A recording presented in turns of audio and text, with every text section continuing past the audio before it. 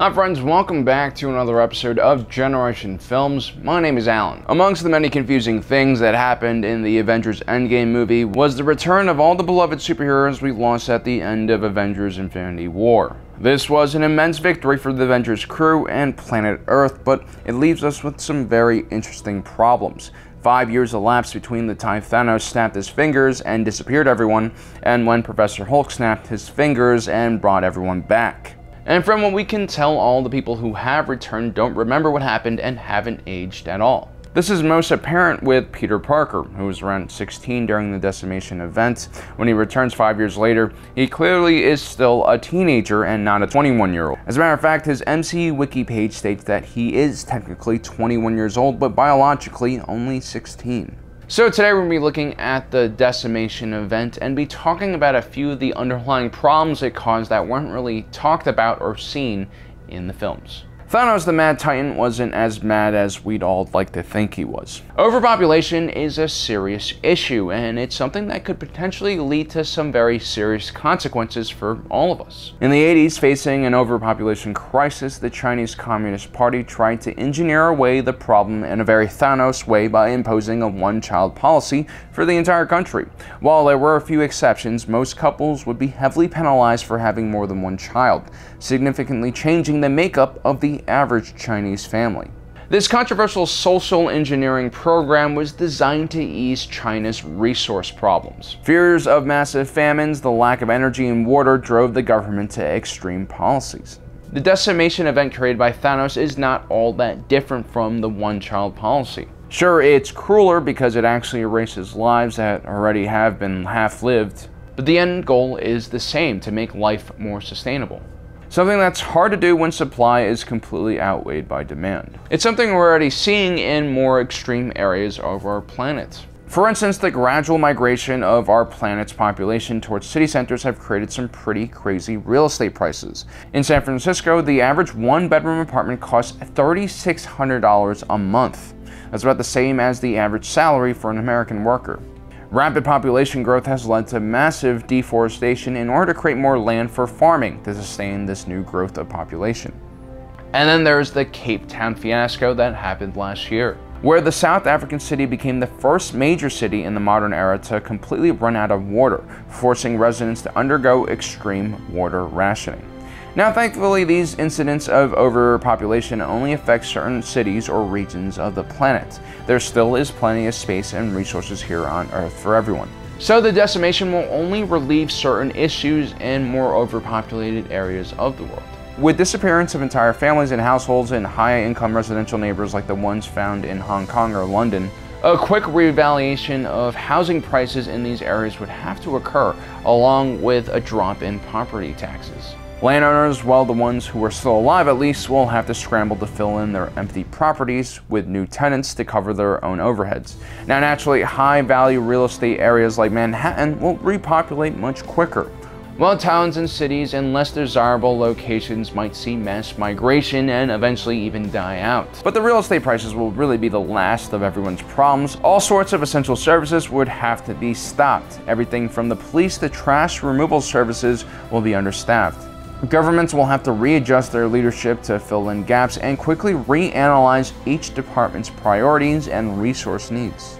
There will be massive amounts of manpower shortages and less essential services might have to be neglected. For instance, the National Park Services might have to abandon many of their parks and campsites. Or maybe the federal government will determine that it's a better use of resources to have FEMA absorb the National Park Services in order to help keep stability and order during the confusion that follows the decimation. FEMA will have to coordinate a recovery effort and make sure that enough staff are on hand for more essential services. Another certain consequence of the decimation would be the complete and total collapse of the stock market. As demand is literally cut in half for all consumption and services, almost every listed company will have to drop in value. Many businesses will have to close because of lack of leadership or manpower. FEMA will have to also make sure that food production and other essential industries are kept running and producing. Then there's the even more complicated problem of processing and finding out just who exactly has died. Many of them might not have wills or immediate families. It'll be hard to determine what will happen to their belongings and property. Maybe finally we'll be able to use all those lawyers we have in this country for something useful. There are also more immediate problems that will need to be addressed. Statistically speaking, there'll be plenty of brand new orphans created by the event, many of them unable or too young to take care of themselves. Ideally, they will be rescued and may be adopted by parents who also have lost their children. This would be a part of a greater effort by the Census Bureau to find out just exactly who is gone and who is still left. It will be a difficult task that requires local law enforcement to team up with the local populace and sweep houses door to door, especially to find vulnerable infants or pets that are now left alone.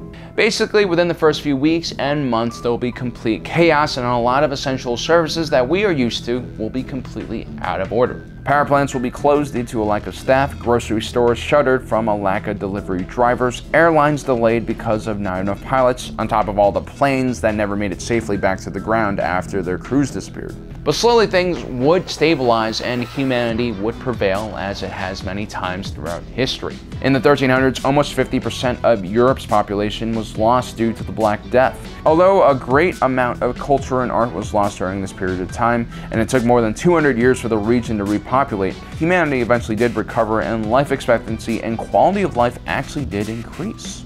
But when the Avengers complete their time heist and bring everyone back to life, several problems arise. For one, it's been five years, and we can expect that the world is already well on its way to recovering and going on without all those that were decimated. Sure, people will still be emotionally connected with those who were lost, but for the most part, the decimated have lost all of their property, money, and place in society, and basically no longer exists. They were legally dead, and to bring them back to life in such a large amount of them at one time will be very confusing and taxing on our system. Let's look at Peter Parker again, 16 years old at the time of death, technically 21 years old when he returns to the land of living, but he'll probably have to go back to high school and be in the same class with the students that were only 11 years old when he died. It should be interesting to see how Spider-Man Far Away From Home will deal with the situation. It is, after all, one of the first post-Avengers Endgame movies. Half of the world's population will return to living and find their homes occupied by strangers, their kids being raised by someone else, and their bank accounts completely empty. It'll be very strange and confusing for all these people who return, and our world will not have the resources to reabsorb them once again. The world, which has had five years to readjust to its smaller population, will now have to somehow take care of 4 billion extra people. Massive food, energy, and water shortages will cause panic, unrest, and most likely a lot of death. Billions of people will be wandering around homeless, taking over shelters, and emptying out food banks. It will take a huge concerted effort by the government to reintroduce these decimated people back into the population.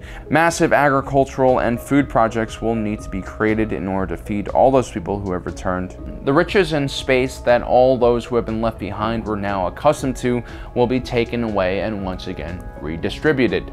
It'll take some time for people to readjust, welcome back those who they have already mourned for and said goodbye to. It'll be the strangest of times. So as you can see guys, these are just a few of the issues that are going on in the background of these movies. Of course, they aren't really discussed and that's kind of a problem because, you know, 4 billion people disappearing and then reappearing five years later will put a huge amount of stress on society. Anyway guys, I hope you enjoyed today's video. Don't forget to subscribe, hit that notification button down below. As usual, my name is Allen, reminding you that life is a movie and you are the protagonist.